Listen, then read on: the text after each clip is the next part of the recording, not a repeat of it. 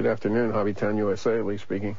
Three years ago, Lee Spievack sliced off the tip of his finger in the propeller of a hobby shop airplane. I was behind the wing and I, I went like this. And I was what happened next propelled him into the future of medicine. Spievack's brother Alan, a research scientist, sent him this special powder and told him to sprinkle it on the wound. And I powdered it on until it was covered. To his astonishment, every bit of his fingertip grew back. Your finger grew back flesh, blood, vessels, and nail. Four weeks. In four weeks. Right. Is this essentially what regrew Mr. Spievack's finger? Yes, it is. We took this, turned it into a powdered form.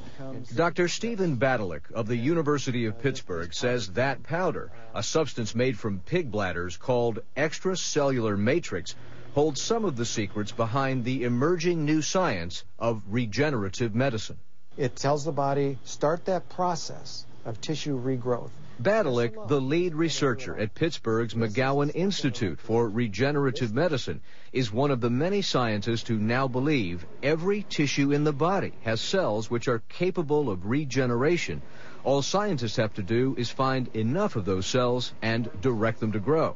Somehow the matrix summons the cells and tells them what to do. It first gets them to the site where they need to be, but then it then it helps instruct them in terms of where they need to go, how they need to differentiate. Should I become a blood vessel? Should I become a nerve, a muscle cell, whatever? If this helps Mr. Spievack's finger regrow, could you grow a whole limb?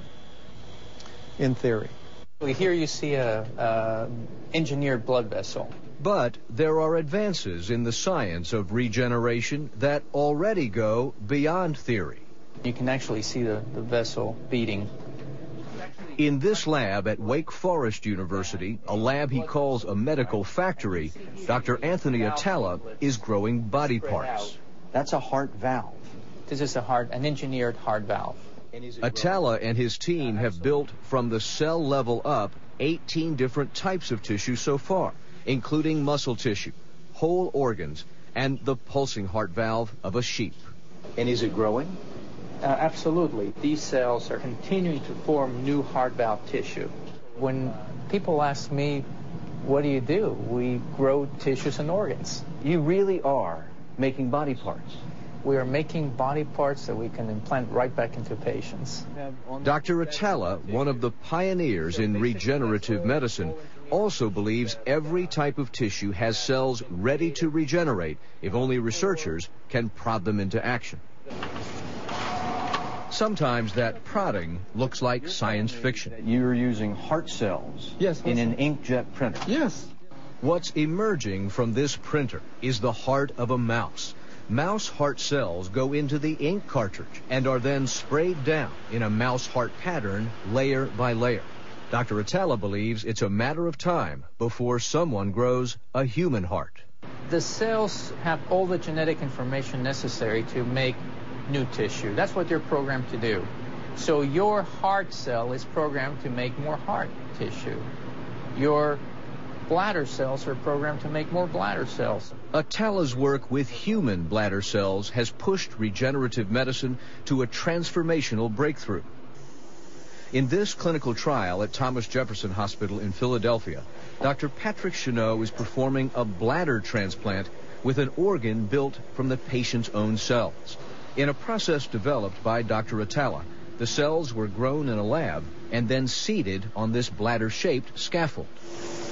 Eight weeks later, the scaffold, now infused with millions of bladder cells, is transplanted into the patient. When it dissolves, Dr. Shenot says what's left will be a functioning new organ. The cells will differentiate into the two major cells in the bladder wall, the muscle cells and the lining cells. They know to do that themselves? They do. Are you thinking this is the future? It's very much the future, but it's today. We're doing this today. One, two, three, look. Today, one of the biggest believers in regeneration is the United States military, which is especially interested in the matrix that regrew Lee Spievack's finger. The Army, working in conjunction with the University of Pittsburgh, is about to use that matrix on the amputated fingers of soldiers home from the war.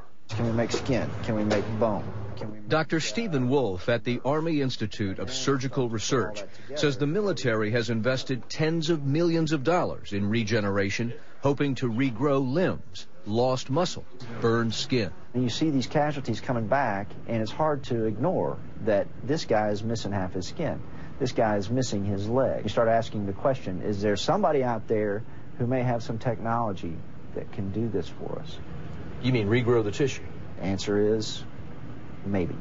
At the burn unit here at the Brooke Army Medical Center, the very idea of regeneration brings a glimmer of hope. This arm burnt off, all the skin and muscle. Army Staff Sergeant Robert Henline was the only survivor of an IED attack on his Humvee north of Baghdad. But what do you make of the fact that the Army is so heavily invested in that technology? It's a great idea if they can come up with something that's uh, less painful and can heal it with natural growth without less scarring on it. Definitely something to check into. The race to check into regeneration has gone global. This machine, being tested in Germany, sprays a patient's own cells onto a burn, signaling the skin not to form scar, but to regrow. You could fashion this into a, a tube like this. That, in a clinical uh, trial in Argentina, for, uh, Dr. Badylak is about to implant matrix material shaped like an esophagus into patients with throat cancer. You expect the body to regrow a piece of its esophagus. We fully expect that this material will be degraded and, and, and cause the body to reform normal esophageal tissue. Injecting one.